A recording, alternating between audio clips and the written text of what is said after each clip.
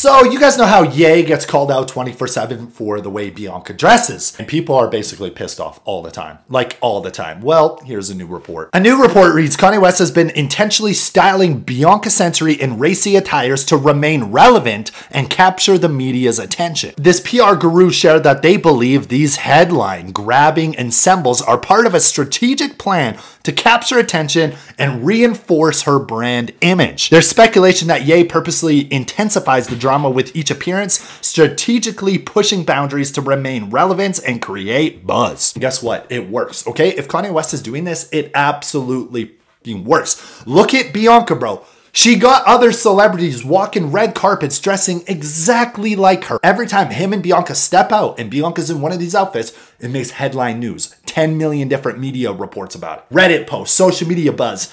It works. So uh so yeah, I'd say it's smart. And honestly, they're grown ass adults. Who cares what they're wearing?